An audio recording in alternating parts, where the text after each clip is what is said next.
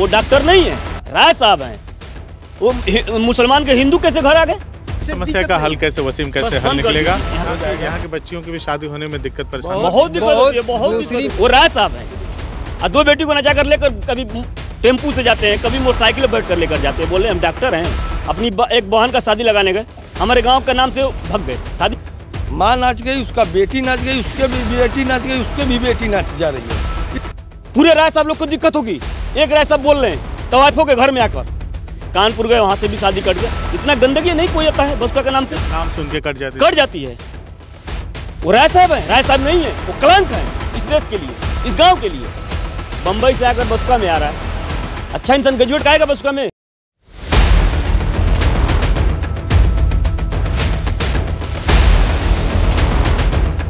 कैसे कैसे हल निकलेगा भाई साहब इस मसले का? यहाँ से बंद कर दीजिए बस। यहाँ से बंद कर दीजिए बस। हम्म। जी हम यही कहना चाहते हैं मीडिया के सामने। तो हम भी लोगों- तवाइफ के लड़के हैं। हाँ, हम अच्छा। भी तवाइफ के लड़के हैं। वो बो मेरा नाम ओसीम अली है। ओसीम अली है। वो जो बोल रहे हैं हम ग्रेजुएट हैं। ग्रेजुएट किसको बोलते हैं? ग्रेजुएट गंदा काम करता है। ग्रेजुएट पढ़ा लिखा है इंसान गंदा काम कभी करेगा? कभी नहीं गंदा काम करेगा। वो तो सोचेगा हम तरक्की करें आगे बढ़ें हमारा परिवार भी आगे बढ़े। वो तो सोच रहे हम गंदगी करते रहें। वो बम्बई रहता है। बम्बई से आकर बसुका में आ रहा है। अच्छा इंसान ग्रेजुएट का आएगा बसका में गंदा काम होता तो आता आना चाहिए यहाँ पे। नहीं आना चाहिए। उसको शर्म से डूबकर मर जाना चाहिए। उनके भाई दो दो हैं। दो दो भाई हैं। हमारे भी तीन भाई हैं। हम उसी लाइन से। आज हमारा माँ दस पंद्रह वर्ष से बैठ गई। पंद्रह वर्ष से हम बैठा दिया। हमें बुरा लग गया। एक समाज में आदमी पूछ दे कौन किस गाँव के हो? तो बस आप, आप क्या करके अपनी ज़िंदगी को मोबाइल काम करते हैं। चौदह परिवार चलाते हैं उसी मोबाइल से। हमें अच्छा नहीं लगा। अपनी एक बहन का शादी लगाने गए। हमारे गाँव के नाम से भग गए। शादी नहीं लगाए। बोले हम नहीं करेंगे अब गाजीपुर से करिए हमारा तो उतना औकात नहीं है गाजीपुर से करेंगे। कहाँ से हम दो, दो लाख का करेंगे कहाँ से दो लाख काम करेंगे? नहीं ना कर पाएँगे। हमारे क्या अपराध दो सौ चार सौ रुपये हम कमाते हैं रोज चौदह परिवार लेकर चलते हैं। हम तो सोचेंगे गेहूँ कटा जाए धान कटा जाएगा तो उसके बाद हम शादी कर लेंगे बहन का। इलाहाबाद से लगा वहाँ से भी कट गया। कानपुर गए वहाँ से भी शादी कट गया। इतना गंदगी नहीं कोई आता है बसपा के नाम पे नाम सुन के कट जाती कट जाती है। नहीं उन लोग का ये भावना है कि हो सकता है कि हमारी बेटी जाए वहाँ पर, इसका जन्म हो, इसकी बच्ची पैदा हो तो ये भी नचा सकता है। इसलिए हम नहीं वहाँ शादी करेंगे। जैसे भी यहाँ हो रहा है, माँ नाच गई, उसका बेटी नाच गई, उसके भी बेटी नाच गई, उसके भी बेटी नाच जा रही है।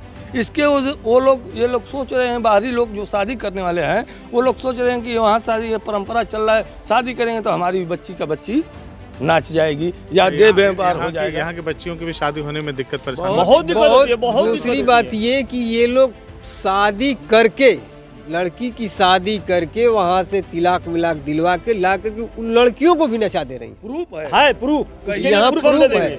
आपके सामने दूसरी बात, वो प्रूफ है आरोप लगाती है तो पहले ये ये सिद्ध करे कभी दो लाख कभी चार लाख। कभी छः लाख तो कभी कितना वो, वो- जितना भी बोले कमी नहीं है। और ये भी कहती है कि 20 साल से हमसे रंगदारी मांगा जा रहा है। तो ये तो प्रधान सात साल से हुआ। आगे तेरह साल पहले कौन था जो रंगदारी इन लोगों से ले रहा था? तो ये लोग तो हम लोग पे आरोप लगा ही रहे हैं। हम लोग को इस समस्या का हल कैसे वसीम कैसे हल निकलेगा? और शासन प्रशासन से क्या प्रशासन से डीएम साहिबा से चाह रहा हूँ यहाँ से सब बंद करवा दीजिए। ये नाजायज है ये गलत है। तो हम लोग ये एक- केस हमारे गाँव में एक राय साहब रहते हैं तो जो रेवतीपुर के हैं। वो उनका उम्र होता होगा सत्तर बरिस। वो बोल रहे हैं हम डॉक्टर हैं भैंस गौरू का आदमी का वो डॉक्टर नहीं है राय साहब हैं। वो मुसलमान के हिंदू कैसे घर आ गए? पचास बरिस से क्या क्या कर रहे हैं? वो डॉक्टर हैं उनका क्या सबूत है डॉक्टर हैं तो? क्या डॉक्टर हैं? सबूत है? अभी हम बकरी लेकर जाएँगे चेक कर लेंगे। एक भैंस लेकर जाएँगे चेक कर लेंगे। एक मरीज़ को लेकर जाएँगे चेक कर लेंगे। वो जाकर इलेक्ट्रॉनिक का दुकान खोले हैं। वो राय साहब हैं। और दो बेटी को नचा कर लेकर कभी टेंपू से जाते हैं, कभी मोटरसाइकिल पर बैठ कर लेकर जाते हैं। बोले, हम डॉक्टर हैं। शर्म आनी चाहिए उनको। उनको शर्म आनी चाहिए। एक राय साहब होकर आप गंदगी में रह रहे हैं। पूरे राय साहब लोग को दिक्कत होगी। एक राय साहब बोल रहे हैं तवाइफों के घर में आकर। वो राय साहब हैं। राय साहब नहीं है। वो कलंक हैं। इस देश के लिए इस गाँव के लिए उनको तो मिट्टी में जगह भी नहीं मिलेगा। इतने कीटाणु पड़ेंगे उनके कीटाणु भी एकदम बहुत दिक्कत हो जाएगा। को छोड़कर आकर यहाँ पे रंडी के घर पे रहते हैं उनके क्या क्या बोल रहे हैं? अपने परिवार को छोड़कर आके यहाँ पे रंडी के घर पे रहते हैं। उनके त, उनके शरीर से दो दो लड़कियाँ और दो दो लड़के वो ही नाचते हैं। क्या बोलिएगा आप? क्या क्या साबुत लीजिएगा? शादी के बारे में बोल रही हैं। जो चार शादी के लिए बोल रही हैं। कैसी साबुत? क्या? हमारी शादी हुई, हमारा निकाह कराया गया, तब हमारा बच्चा पैदा हुआ है। बगैर निकाह का पैदा बच्चा होता है, उसको निफाइता बोला जाता है, हरामखोर बोला जाता है माधर चोत बोला जाता है। अभी आपके सामने एक प्रूफ दिया ना लड़का कि मैं एक तवाइफ का लड़का हूँ। मेरे ऊपर शर्म के मारे मैं पानी पानी हो गया तो मैं अपने माँ को पंद्रह वर्ष पहले बैठा दिया। हम लोग तीन भाई हट्टे हकीकत है कि तीन भाई हट्टे कट्टे हैं। और तीनों अपने माँ का जीविका चलाते हैं, अपने परिवार का जीविका चलाते हैं, मजदूरी मेहनत कर कर और मोबाइल का रिपेयरिंग करके। उनके भाई नहीं कर सकते हैं उनके बाप नहीं कर सकते हैं उनके दादा दादी नहीं कर सकते हैं उनके चाचा चाची नहीं कर सकते हैं हैं हम ग्रेजुएट हैं। अरे ग्रेजुएट मतलब होता क्या है? पढ़ लिए तो ग्रेजुएट होता क्या? आप भी ग्रेजुएट होंगे आप भी ग्रेजुएट होंगे। आप नहीं सोचेंगे तो गंदा काम हो। आप नहीं जान कहीं भी कुछ गंदगी होगी बुराई होगी तो उसको दूर करने की कोशिश दूर दूर करने के लिए। तो वो बोल रहे हैं हम ग्रेजुएट हैं। मुंबई से पढ़ कर आए इलाहाबाद से पढ़ कर आए अरे पढ़े लिखे अच्छे इंसान सामने नहीं आते हैं। वो गंदा काम नहीं करने देते हैं। गमछी से ढक के मुँह हट जाएगा लोग। मीडिया के सामने हम लोगों को अपनी इज़्ज़त की आबरू लाज उन्हें चाहिए हम लोगों को पंद्रह हज़ार का मोबाइल चाहिए। पल्सर चाहिए जीन्स चाहिए जूते चाहिए वो सब नहीं मिल रहा है उन लोग को। अब नहीं मिलेगा बंद हो जाएगा तो। अब लास्ट में जाएँगे मजदूरी करने उनसे तो फोर्सा नहीं चलेगा। उनसे फोर्सा भी नहीं चलेगा। हम तो मजदूरी कर लेंगे। अभी भी हम चैलेंज करें मजदूरी कर लेंगे। और वो बोल रहे हैं डिवाइड करने के लिए। हम भी नर्तकी के लड़के हैं। सामने आ जाएँगे तो हम उनसे पूछ लेंगे सवाल तो आप किसके लड़के हैं? बताइए हमारे सामने सबूत दीजिए। हम भी देंगे उनके संग। सबूत देंगे उनके। हम भी अपने बाप का नाम बताएँगे वो भी बताएँ। क्या नाम है बाप का नाम? बताएँगे मामा का नाम बताएँगे चाचा का बताएँगे भाई का नाम बताएँगे। शर्म नहीं आती? है माँ हमारी माँ के पास भाई जाएगा मामा जाएगा सोने के लिए? नहीं कभी नहीं जाएगा। कभी जाएगा तो बताइए। वो बोल रहे हैं हमारा मामा है वो है। बहन बहन की अम्मा की भाई बहन जाकर सोएगा वहाँ पे। भाई जाकर सोएगा मामा जाकर सोएगा बहन के पास। कागज़ में ये दर्शाया है? नाम अभी भी हम आधार कार्ड दिखा देंगे तो हमारा बाप का नाम दूसरा है। हम तवाब के लड़के हैं। बहुत बहुत बात बोल रहे हैं। साबुत आपको चाहिए। क्या चीज़ हम लोग दें? मीडिया पर तो देते तो थक गए। तो अभी तो साबुत नहीं मिल रहा है साबुत तो है। वो तो बोल रहे हैं साबुत मिल गया है। अरे साबुत आपको पास मिल गया है। तो आप दिखा दीजिए प्रूफ दिखा दीजिए जो भी मीडिया जा रहा है उनसे प्रूफ मांगिए। हाँ भैया आपको मिल गया सबूत तो प्रूफ दिखा दीजिए हमें कागज़ दिखा दीजिए। कोई कागज़ ही नहीं है। वो लोग सोच रहे हैं तो हम लोग प्रूफ दिखाकर झगड़ा लड़ाई हो। आम लोगों नहीं चाह रहे झगड़ा लड़ाई हो। एक जगह रहना है, किसी किससे लड़ाई झगड़ा करेंगे? मीडिया को बहलाना हम लोग किसी से लड़ाई झगड़ा नहीं करते हैं किसी से नहीं करते हम लोग काम में बिज़ी रहते हैं। क्या मतलब है? और उनके जितने भाई हैं सब घर पे मिलेंगे। कोई काम ही नहीं है कोई काम नहीं है। कोई काम है तो बता दीजिए जाकर पूछिए उनसे। आप इनसे उनसे जाकर ये पूछिए तो आपके कितने भाई हैं? आप हमारे सामने मीडिया के सामने जैसे उन लोग मीडिया के सामने आ जा रहे तो आपके लड़के आप भी लाइए ना। नहीं लाएँगे कभी भी कभी भी नहीं लाएँगे। शर्म के चलते भाग जाते हैं। तो मीडिया के सामने छोड़कर भाग जाते हैं। हम नहीं भागते हैं। क्यों? तो अच्छा काम कर रहे हैं। बुराई थी जिस दिन हम चोरी कर कर रहे थे आज हमें वो बुरा लगा। उसको हम बंद कर दिए। अच्छा काम करने लगे। हिम्मत की बात है और जब चोरी नहीं तो फिर डर का है। डर किस लिए? किस लिए डर? समाज में हमें नहीं जाना है। हमें भी समाज में रहते हैं। हमें पचास आदमी जानते हैं। मोड़ पे रहते हैं चौराहा चट्टी पे। पूछते हैं किस चीज़ का है?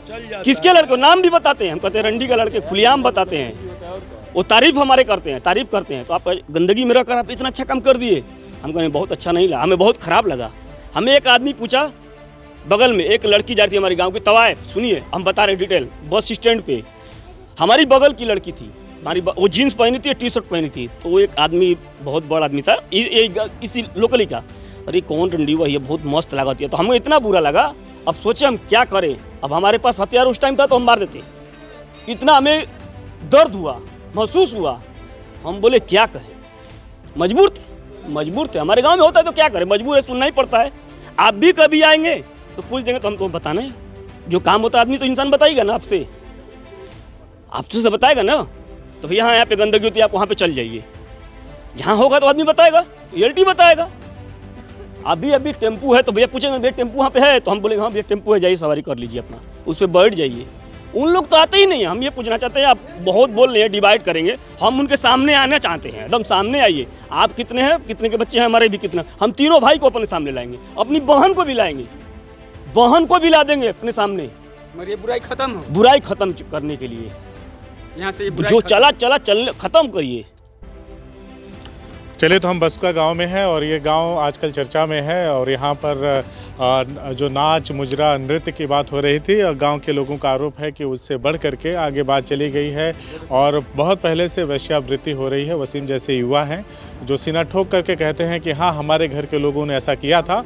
लेकिन जब हमें हमारी गैरत ने हमको झकझोरा तो हम उन सब सभी कामों को हमने अपने घर वालों से बंद करवा करके अब इज़्ज़त और मेहनत से अपनी ज़िंदगी बसर करते हैं और मेहनत करते हैं और उस मेहनत से जो भी कुछ हमें हासिल होता है उससे अपना परिवार चलाते हैं। और हमें इनका कहना वसीम जैसे युवाओं का कहना है कि हमें गर्व है कि हम इस दलदल से इस कीचड़ से निकल चुके हैं। लेकिन हाल फ़िलहाल इनकी ये जो समस्या है कि गाँव में कुछ बाहरी जो आरजक तत्व ही कहा जाएगा आ आकर के इनके दरवाज़ों को और नॉक करते हैं और कहते हैं कि फला कहाँ पे रहता है फला कहाँ पे रहती आते है पे। तो इस तरह की चीज़ें गाँव में होती हैं जिससे इनको दिक्कत होती है।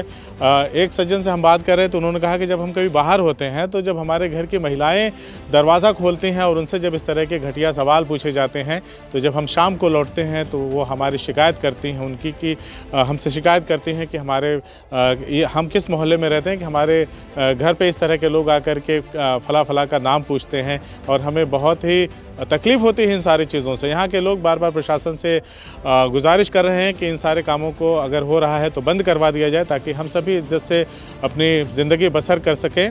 और जो इनका एक सबसे मज़बूत पक्ष ये है, मज़बूत पहलू ये है कि इनका कहना है कि ये गाँव इतना बदनाम हो चुका है कि जब हम कभी अपनी बहनों की शादी के लिए बाहर के ज़िलों में जाते हैं, बाहर के प्रदेशों में जाते हैं तो नाम सुनते ही शादी के लिए कोई तैयार नहीं होता। और अगर लड़कों की शादी की बात होती है तो बाहर के लोग अपनी बच्चियों की शादी इसलिए नहीं करते क्योंकि उनको डर रहता है कि मेरी बच्ची से पैदा होने वाली जो बच्ची होगी 10-12 साल 15 साल के बाद, उसको भी हार्मोनल इंजेक्शन वगैरह इंजेक्ट करके, उनको समय से पहले जवान करके इस देह व्यापार के धंधे में धकेल दिया जाएगा। तो इस वजह से भी ये लोग, इन लोगों के गाँव में बाहर के लोग भी शादी करने से कतराते हैं। तो ये गाँव के लिए बड़ी समस्या है। शासन प्रशासन को इस पर बैठ करके गाँव के लोगों के साथ गाँव के बीच में बैठ करके इस मसले का हल निकालना चाहिए, वरना ये आरोप प्रत्यारोप किसी दिन किसी बड़ी घटना के कारक बन सकते हैं। बदलेगा भारत पर, हमारा ये सफ़र जारी रहेगा। ऐसे ही गाँव चट्टी चौराहों पे जाएँगे और जनता की समस्याओं को आप तक पहुंचाएँगे, क्योंकि हमारा ये मानना है कि हमारे इन्हीं प्रयासों से एक न एक दिन ज़रूर बदलेगा भारत। जय हिंद।